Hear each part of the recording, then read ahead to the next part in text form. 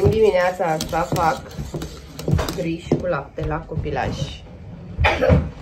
Și chiar am vrut să vă întreb cum faceți voi să nu vă iasă grișul tare. Adică ce cantitate de griș folosiți per cantitate de lapte și dacă aveți altă măsură după care să vă luați, spuneți și mie.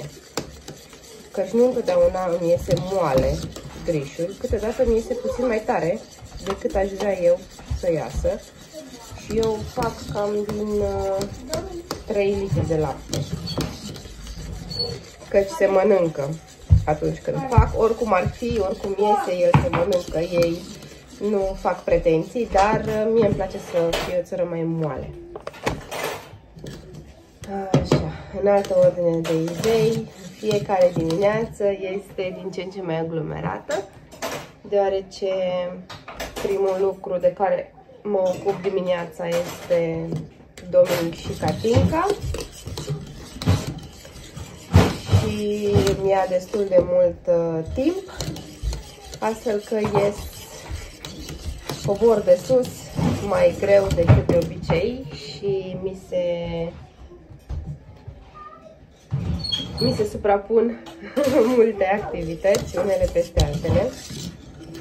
Încă ne obișnuim cu un nou ritm, așa că nu e nicio grabă. Dar în dimineața asta fac și cu lapte. Scot brânza și mă gândesc ce să fac de mâncare pentru prânz, pentru domnul ce muncește la casă și pentru toată lumea, bineînțeles, astfel încât nici el să nu se sature de aceeași mâncare zilnic. Ce mâncăruri mai faceți voi? Deci imediat dintr-un pană de idei. Da. Bravo!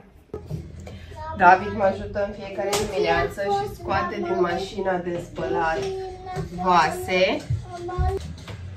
Iar eu trebuie să le pun la locul lor. Da. Ce dorești? Ți-e foame?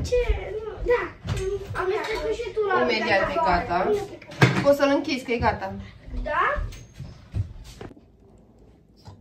Cât îți spun? Mie. O polonic. Un polonic? Un polonic, eu. Și tu vrei tot un polonic? Poftim. Și polonic. Pui cacao? Tu vrei cacao, Dominic? Da. Și tu vrei cacao? Da, bine, poftim. Ia, Să punem și la fete. iac, iac. Iac. Asta este abur. Hai să vă faci. Nena doctor e aici. Și tata s-a dus, cred că la magazin. Cacao e mare cacao. Uau, ce bun e. e bun? Stai că trebuie să-i răcesc pe Dominic. Vrei? Vrei? Vrei? Ce bun e.